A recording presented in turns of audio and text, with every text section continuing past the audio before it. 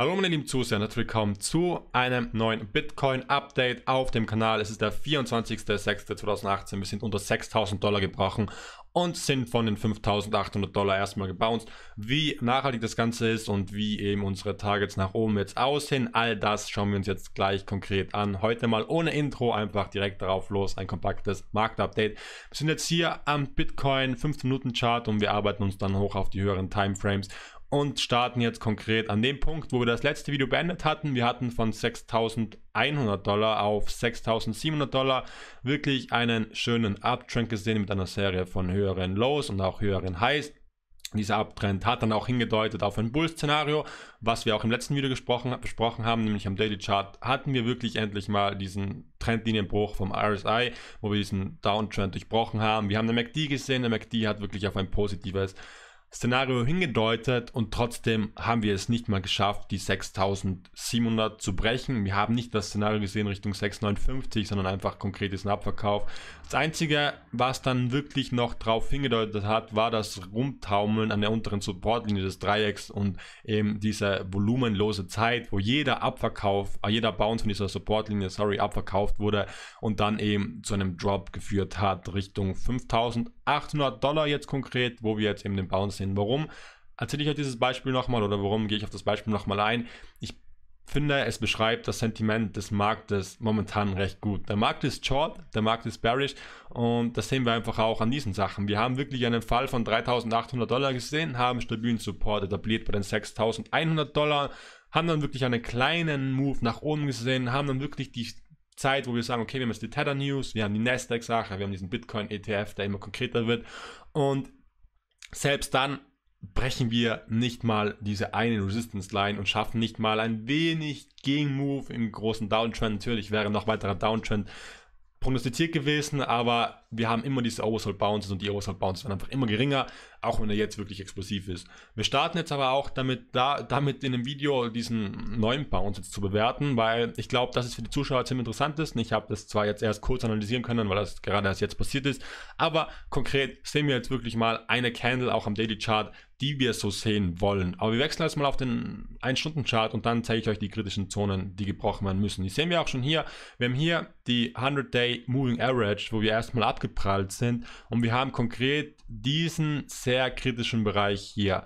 Das ist der Bereich, wo sich entscheiden wird, ob wir jetzt die nächsten Tage oder die nächsten Wochen, wahrscheinlich eher sogar die nächsten ein, zwei Wochen, wieder einen kleinen Uptrend sehen können, im größeren Downtrend oder ob das wirklich nur ein Fake Bounce war. Natürlich 400 Dollar Fake Bounce wäre schon ziemlich krass, aber dieser Bereich muss einfach gebrochen werden, um mehr Short-Positionen zu squeezen. Wir hatten schon einen Short-Squeeze, es wurden viele, viele Short-Positionen liquidiert, es wurden viele Stop-Losses gejagt, es wurden sehr große Short-Positionen dazu gezwungen, zurückzukaufen, aber dieser Bereich wird darüber entscheiden, weil einfach konkret in diesem Bereich immer das Stacken der Short-Positionen beginnt. Also ich kann es euch sagen, dass die ganzen Trader ähm, immer noch mit dem Trend gehen. Der Trend ist Short und die sagen nicht, sie spielen die Bounces, sondern die sagen, okay, ich schaue mir die Resistance-Bereiche an und stack da meine Shorts rein. Und jemand, der hier in den Bereich seine Shorts reinstackt, hat schon mal keinen schlechten Gewinn, kann ich euch sagen. Auch wenn sie jetzt für den Autonormal naja, Verbraucher jetzt vielleicht nicht so krass aussieht, aber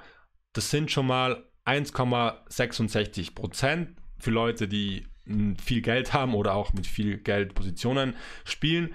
Die machen mit so einem Bounce schon mal knapp 2000 Dollar um den Dreh rum bei 100 bis 150k Positionen, einfach indem sie ihre Short-Positionen in diesen Bereich reinstaken. Natürlich, wenn der Bitcoin hier noch weiter fällt, dann machen die noch mehr Geld. Weil was sie machen, sie stacken ihre Short-Positionen hier rein und sie setzen einfach ihren Stop-Loss hier oben hin ja, und das war dann wirklich so ein Setup, was solche Leute spielen und worauf eben die Leute schauen. Weil der Trend ist short. Egal was sie sagen, egal wie gut der Bounce war, der Trend bleibt short und der Trend wird short bleiben für die nächsten Wochen oder ein, zwei Wochen, solange wir nicht diesen Bereich brechen. Merkt euch diese Zone, diese Zone ist ultra wichtig, wir müssen die Zone hier brechen.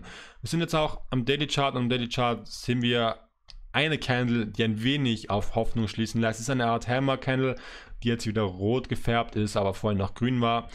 Ist ja nicht egal die Farbe, um was es geht, ist der Wick nach unten. Wir sehen diesen starken Kauf von hier unten. Die Kerne sieht positiv aus, könnte für weiteren Abtrend sprechen. Wie gesagt, 6200 ist die Zone, die gebrochen werden muss. Wenn 6200 gebrochen werden muss, entsteht Short-Panik, es, es entsteht mehr Bull-FOMO sozusagen und es werden mehr Short-Positionen liquidiert. Viel mehr wie jetzt. Und das ist einfach der Bereich, der gebrochen werden muss, damit ihr die Uptrend-Targets wisst. Was wir jetzt hier auch noch sehen am Daily Chart, der RSI, dieser Support hat anscheinend wieder gehalten, auch wenn wir ihn nicht mal direkt getroffen haben. Wir haben hier diesen Support etabliert am RSI, wo wir konkret sehen, dass wir zwei, dreimal davon gebounced sind, aber diese kleinen Bounces zählt eher sogar viermal.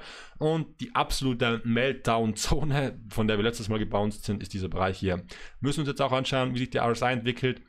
Was bearish wäre, was ich euch gleich sagen kann, was bearish wäre, wäre, wenn der RSI wirklich wieder schnell hochgeht und der Preis nicht wirklich schnell hochgeht. Das heißt, wenn wir uns bald wieder bei 6700 vorfinden und einen RSI in diesem Bereich hier oben haben, dann wäre das eher wieder ein Zeichen dafür, dass der RSI nur mal schnell resettet wurde, um weiter zu shorten oder um den Kurs weiterhin fallen zu lassen. Ich will jetzt aber auch nicht zu bearish sein. Wir haben hier noch den Weekly Chart.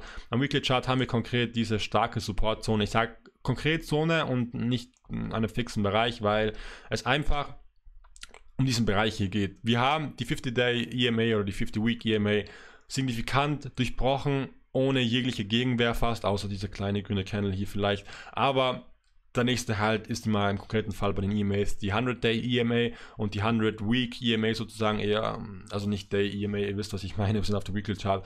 Aber das ist konkret eine EMA, die wirklich sehr viel Verwendung findet auf den höheren Timeframes, allem im Weekly Chart und wo wir wirklich eine starke Bounce-Zone haben, weil wir auch hier dieses FIP-Level haben vom 0,786 Bereich, das wir vom letzten Cycle angezogen haben, also wo wirklich der größte Abstand gestartet ist. Was ich euch konkret mit diesem Video sagen will, die Support-Zone hat hier erstmal stark gehalten. Es ist sehr positiv für die Bullen und auch für ja, uns alle, weil ich denke, wir sind alle Bitcoin-Bullen im, im Long-Term-Bereich, auch wenn wir jetzt vielleicht mit dem Trend Short gehen. Es ist gut, dass wir jetzt diesen Bounce erstmal gesehen haben, weil alles andere wäre komplette Kapitulation gewesen und hätte wirklich für ein 3K, 2K-Szenario gesehen. Diese Szenarien sehe ich auf keinen Fall.